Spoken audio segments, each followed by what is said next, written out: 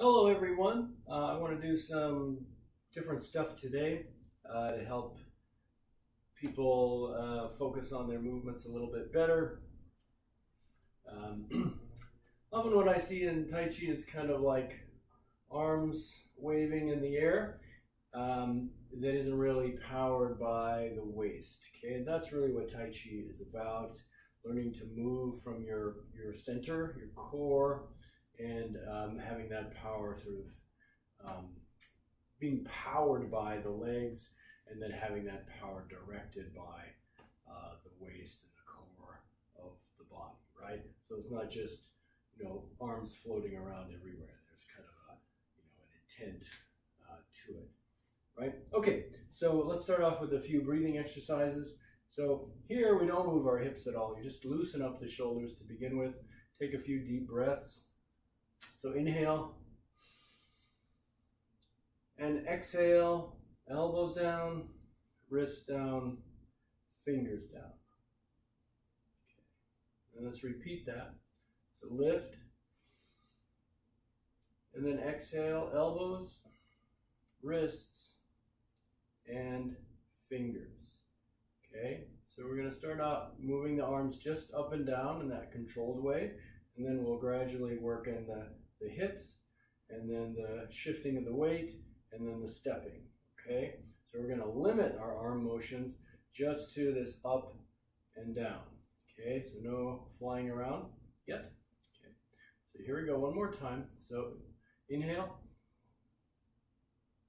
elbows, wrists, and fingers. Okay, let's just do that five times. Okay, so remember you come down, Bend the elbows first, bend the wrists second so the fingers trail, and then finally fingers down. Okay, let's do five times. So one, up and down, elbows, wrists, fingers. Okay, repeat two, down, elbows, wrists, fingers up, three, elbows, wrists, fingers, four, elbows, wrists, fingers, and five, inhale, exhale. Let's try a few now with just one hand at a time. Okay, so the right hand up, then elbow, wrist, fingers. Okay, so one, do five on each side. Two,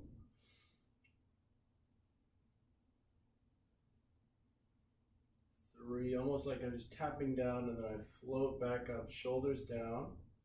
Okay, elbows, wrist, fingers. Three, two more elbows, wrists, fingers, and elbows, wrists, fingers. Okay, then the left side. So lift the left wrists, and then elbow down or bend wrists and fingers. Touch, and then back up. Elbows, wrists, fingers. Two. Okay, so three more. Exhale. Three. Exhale. Four. Exhale. Five. Okay, so now let's try alternating sides. Same hand motion. So start lifting the right wrist, and then when I start dropping that right elbow, I lift the left wrist, fingers down at the end, and then I switch elbow, wrist, fingers of the left hand. Okay, so for now, resist the urge to turn. Okay, just try to keep an up and down motion with both hands. Okay, kind of like painting the fence. If you've ever seen that movie. Try to do that alternating hands without turning just up and down. Make sure you're relaxing the shoulder joint, relaxing the elbow, wrist, and fingers. You're just flowing through it. Okay? So let's do five. One, one, two, two, three, three, four, four, five, five. Okay, so now start to turn the waist by bending into the hip joints, okay, without shifting the weight, okay, without throwing the hips out, without twisting the torso, without stiffening the knees. Keep the knees slightly bent. Don't move, don't bend or uh, straighten the knees. Just move from the hip joints. Okay, so I keep my torso in place. Okay, not pushing out like this. The torso stays in place. I just move the hands up and down. So I turn left, the left hand comes up. I turn right, the right hand comes up. Okay, don't twist so that your knees stiffen out like that. Keep the knees bent. Just move from your hip joints. Okay, knees stay bent. Okay, right. And I'm just moving up and down with the hands. Okay, so I notice I'm not flinging out yet. Okay, I just pick up the hand and put the other one down and let my body do the turning. Let the hip do the turn. Okay. So let's do five. One, one, two. Remember the elbow down, then the wrist, then the fingers. Two, elbow, wrist, fingers. Okay, three, three, four, four. Movement ends when you let the fingers go down. Okay, five, five. Okay, so now let's try a little wider. Same motion, same turning, but now you can start to shift the weight a little bit, but don't stiffen out the knees. Same turning of the hips. Okay, but this time we'll let ourselves shift. Okay, so one, shift and turn. One, shift and turn. Two, two, three, three, four, four, five, five. Let's do seven of these, okay? Six, six. Watch yourself. Make sure you're not letting the arm flow off to the side, just going up and down. Okay, six, six, seven, seven. Okay, now from here, take a step forward with your left foot. So the weight's on the right leg. Take a step forward with your left heel. Okay, then I put the toe down and I lift the left hand. Okay, again, same motion. Now my feet are a different place. I have my left leg in front and I shift back to the right, turn. Still just turning from the hips. Okay, feet are a little different position now, so it feels a little awkward. Okay, but practice still shifting the weight. Okay, turning the torso, keeping the body a rectangle. No, no twisting of the torso. Okay, just letting your hips turn that upper body. Okay, so five. One, one, two, two, three, three, four, four, five, five. Okay, so now I'm on the right leg. Can step back with the left. Okay, can straighten out that front toe. Now my weight's on the right leg, right leg forward, both knees bent, and then we'll do that other side.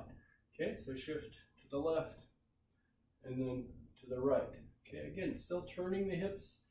Knees, both knees stay bent, you're just shifting the weight more. Okay, so one, one, two, two, three, three, four, four, five, five. Let's do seven.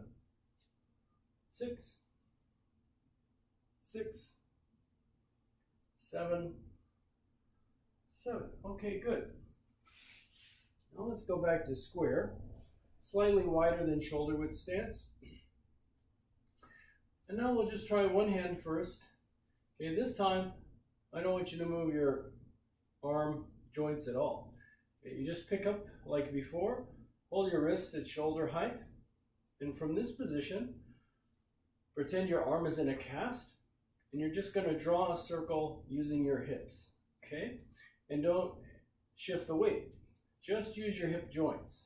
Okay? Keep your knees bent in the same amount the whole time. So I'm going to keep my palm in front of my chest like this, more or less. And I'm just going to draw the circle with my hips. Okay? So draw the circle. Okay? So let's do like seven of these. One, two, three, four, five,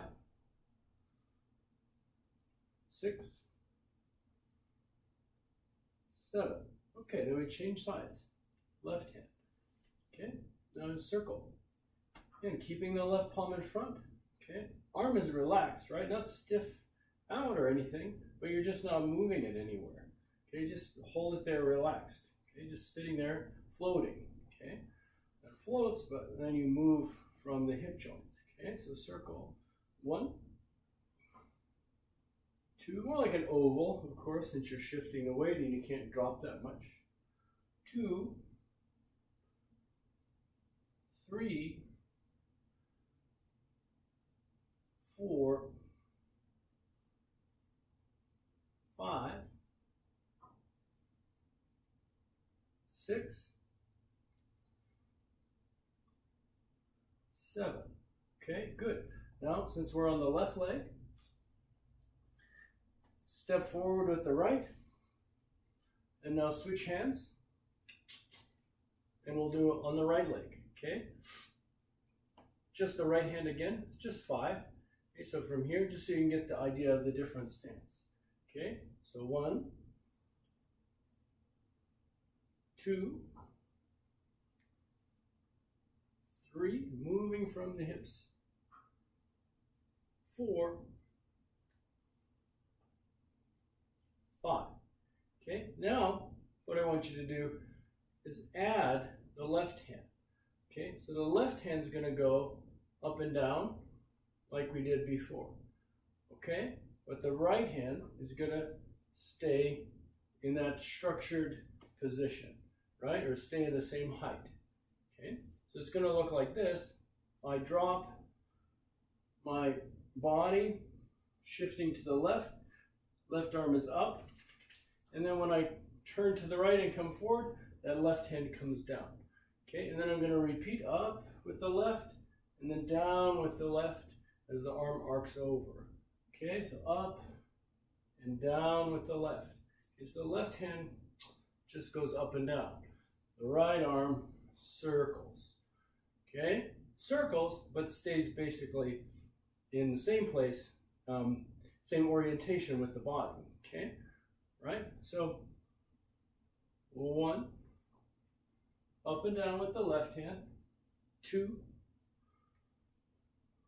three, four,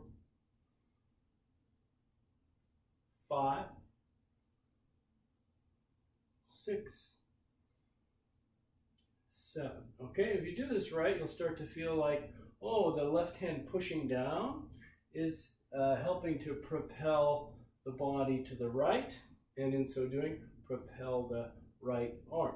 Okay, so giving you power this way. Okay, let's see if you can feel that a little bit of a, a wind up. Okay, but you don't release this arm to fly off this way. Okay, you want the energy to, to go forward essentially. Okay, so let's try the other side. So you step back, step forward with the left. Okay, now with the left hand, left hand in front, okay, held relaxed. and start by drawing a circle. So again, drawing the circle, not moving the arm, palm stays in front of the body. Circle, one, two,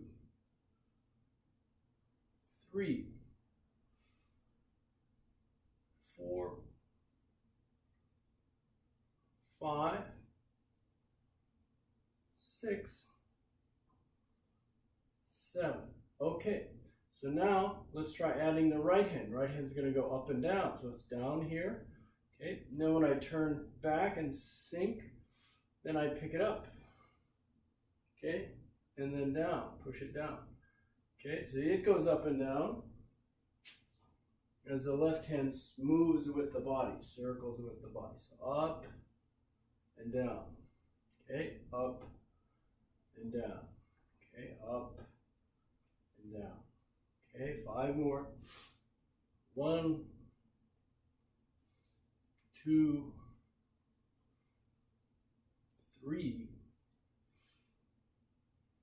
four, five. Okay, good. Let's step back, hold the posture, shake out a little bit.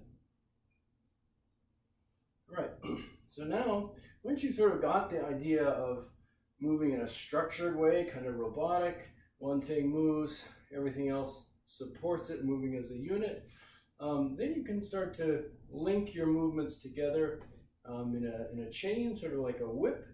Um, and then your movements start to become a little bit more uh, powerful, right? Have, have, a little more snap to them. Um, takes time though. So now if we go back to that front stance, so the right foot in front. Before we were, we just moved like this and up and down. Now I want you to relax a little bit, okay? And I start my right hand forward like before, try letting it fall down as you turn back, okay? So I'm going to let it fall as I turn to the left. Then I'm going to go back to the right after it falls, bending my right elbow and letting it snap out a little bit. Okay, so snap out, but the energy goes forward. Okay, I don't go way off to the side. It's very control. I'm directing power in a certain way. Okay, I'm loose, and I use that power of my legs and waist, but I'm very careful about where I'm directing my hand. Okay, so that's why you start off in this structured way, so you know where your arm is, and you're you know kind of building this awareness of where your your body is moving, where your hands are moving in particular. So here you can just sort of drop and let it go back out. Okay, drop in front of you, turning left, then turn right. Okay, turn left, and when I turn back to the right, to bend that elbow, the, the hand follows, and the final thing is the hand flicks out in a relaxed way. Okay? A little bit like a whip. Okay? Don't add any arm force like that. Just let it swing. and drop into the left hip, then drop into the right hip. Okay, shifting the weight a little bit. Boom. Little shift back and then forward. Notice I'm turning, okay? So I don't want to, if I just go laterally, side to side, it doesn't have quite as much power. You want the rotation. Okay, you want the rotation of the hip joints that turns the torso, okay, generates even more power. Okay, so let's like do 10 of these. One, two, three, four, five, six, seven, eight, nine, ten. Okay, now let's add the other hand, because the other hand now can push down a little bit more strongly, okay, to support this.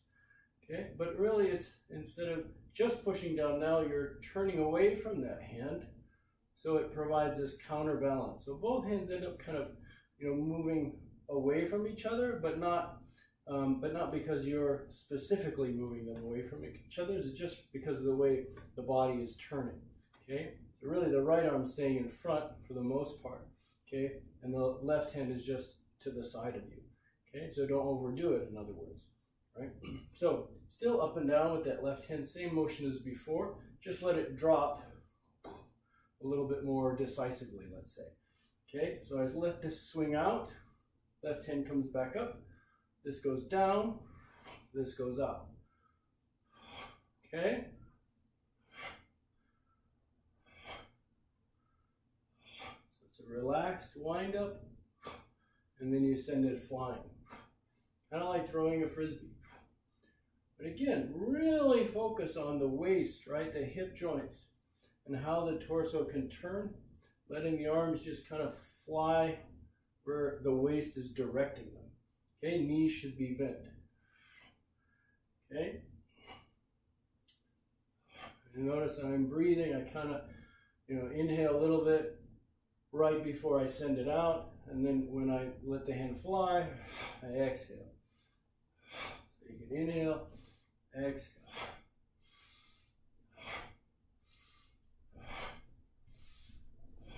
A very loose arm, right? Not stiff, not hard, it's loose, soft, but it ends up, the energy goes in the same direction every time, not flying off randomly, okay? Really trying to be specific about how you use the legs and the waist to direct your power, okay?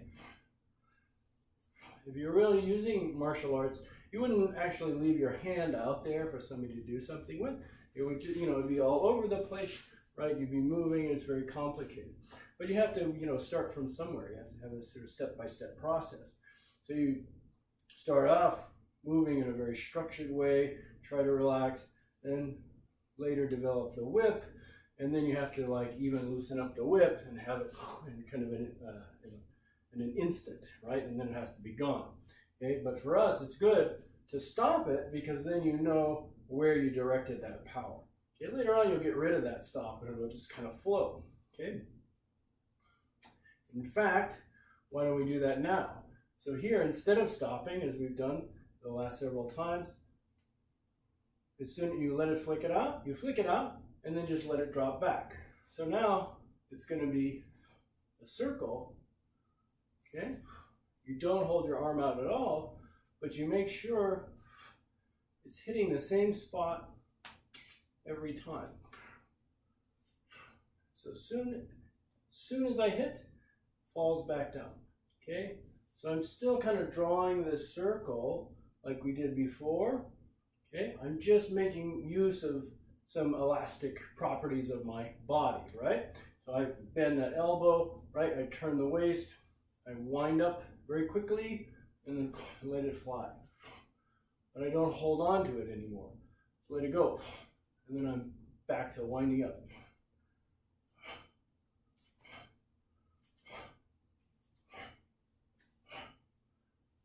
Okay. All right, let's try the other side now. Say the left. Okay, so let's see, where do we start? We started with just this one hand, up, okay, and then you're just gonna let it fall, flick it up, okay?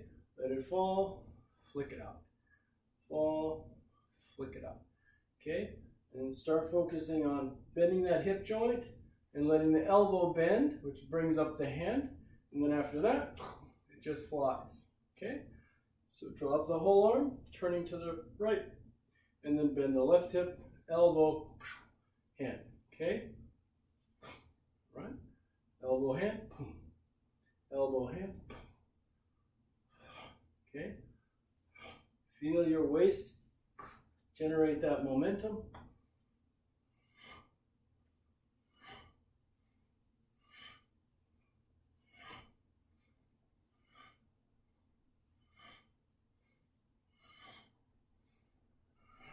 Okay, remember, hand stays in front of the body, shouldn't be out here. Should be throwing that frisbee right in front of you. Okay, boom, right in front, boom. Bending the elbows, and notice the hand stays close to the body. That's how you build up speed. Okay, momentum, right? Keeping the limbs close to your body until you're ready to send it up in a linear, more linear fashion after you turn. You turn, generate that you know, speed, and then let it fly straight at the end. Okay. All right, let's add the hand. So now this is going to drop down. You can push down a little bit, but not too strong with the arm. It should also just be kind of like a light, you know, flicking movement, if you will. Okay, so one, two, three, four, five, six, seven, eight, nine, ten. Okay, that was 10 stopping every time. Now let's do 10 without stopping. So I do 10, I let it flow every time. Okay, a little bit of power, but I don't hold it out. Okay, so again, one, two, three, four, five, six, turning the waist, seven, eight, nine, ten. All right, good. Now let's try one more thing.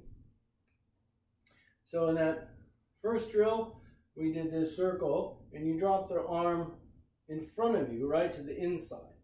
Okay, now let's try dropping it to the outside, okay, but then at the end, still picking up uh, the hand by bending the elbow. So I let it drop, turning to the right, draw, still dropping into that hip joint, not reaching back, just let it fall back and let the hand come up by the ear. See how, okay, it comes up by the ear naturally. I let it drop, hand comes by the ear. Okay, drop by the ear, drop by the ear, more or less in the same position. Okay, but now, um, yeah, just let it drop and you can send the hand back out just a little bit, kind of like you're swimming, but then drop it again. Okay, okay, like swimming, but at the very end, can drop that elbow, like you want to punch this way or punch down, which we'll do in a second. Okay, so push the hand out and then drop. Main thing is circle the outside of your body. Okay, so I draw the circle this way, bending the elbow, hand by the ear. Okay, so drop, circle to the outside, circle to the outside, circle to the outside. Boom, boom, boom, by the ear, by the ear. Okay. Okay, if you want, you can push at the end. So by the ear, wind up, push. Okay, then drop, then push. Wind up, push. Wind up, push. Wind up, push. Wind up, push. Wind up, push.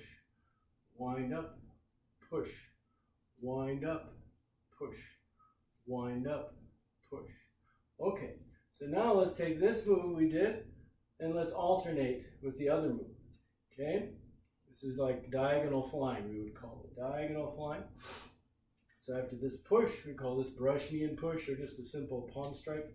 So from here, after I push, I bring it down in front and flick out, right? And now I go to the outside and push.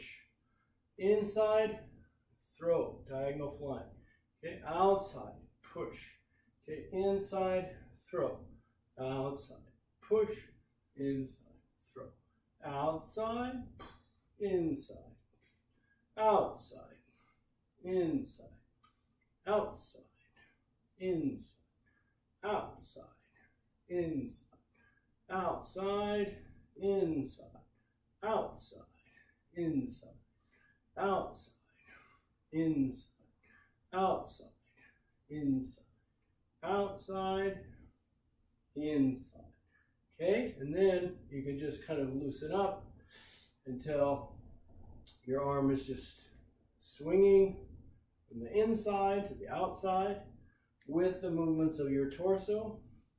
Okay, but try to add a little power. So rather than right now, I'm just kind of letting it fall. I want to go back to having a little power at the end. So here I have power when my hand goes out. I have a little bit more waist power here. And when it comes back here, a little bit more waist power.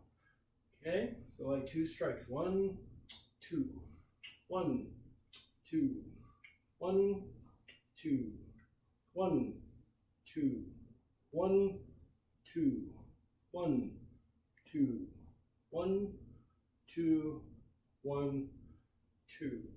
Okay, let's do all that on the other side. Okay, so from here, drop the left hand to the outside. So left hand to the outside. Okay, just circle it a few times to the outside. Make sure to drop the hip. Don't reach back with the shoulder, just drop the hip. Let your arm come around naturally. Bending the elbow, bending the elbow, bending the elbow, bringing it back. Okay? Once you've done a few of those, you can push at the end. Then bring it back, push, wind up, push, wind up, push. Sometimes helpful to look at the hand that helps you turn your waist a little bit more. Wind up, push, wind up, push, wind up, push, wind up, push, wind up. Hand by the ear, then push, wind up, push, wind up, push, wind up, push, wind up, push, wind up, push. Okay, so now let's go back to the inside. Inside, throw. Outside, wind up, push. Inside, throw. Outside, push.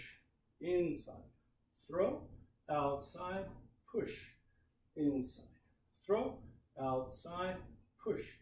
Inside, throw. Outside, push.